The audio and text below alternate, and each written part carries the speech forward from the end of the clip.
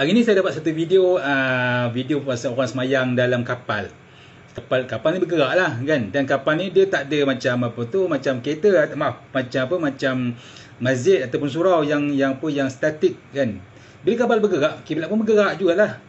Dan dalam video tu saya tengok, ada imam yang pertama dia, dia semayang ke arah kiri, yang kemudian imam kedua semayang ke arah kanan.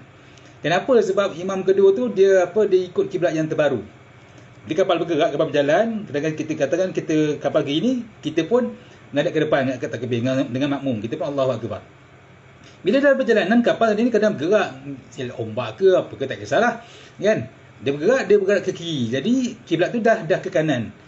Datang imam kedua, dia terus angkat takbir berlawanan ataupun berlainan dengan kiblat imam pertama tadi. Kiblat kiblat imam pertama kiblat kiri, kiblat imam kedua sebelah kanan. Baik. Jadi dalam video tu orang tengok eh dah lain-lain kiblat pula. Lain jemaah lain kiblat. Baik. Pertama tuan-tuan, uh, dalam Islam, dalam fiqh, bila ada jemaah yang pertama, jemaah kedua tak boleh diwujudkan. Kena tunggu jemaah pertama habis barulah jemaah kedua angkat takbir. Itu satu. Kan? Baik. Yang kedua, apa tu kalau apa sebagai kita juga imam yang kedua, tak ada masalah kalau kita nak ikut kiblat yang sebenar kan? Mana kiblat pertama tadi mana kiblat jemaah pertama dah berlari dah lari dah berlawanan. Ber, berlainan dengan kiblat yang yang yang sebetulnya kita boleh angkat takbir dan, dan kiblat yang sebenarnya. Kan? Baik. Dan apa tu? Itu kalau dalam apa dalam kapal. Kan? Benda jangan-jangan berlaku.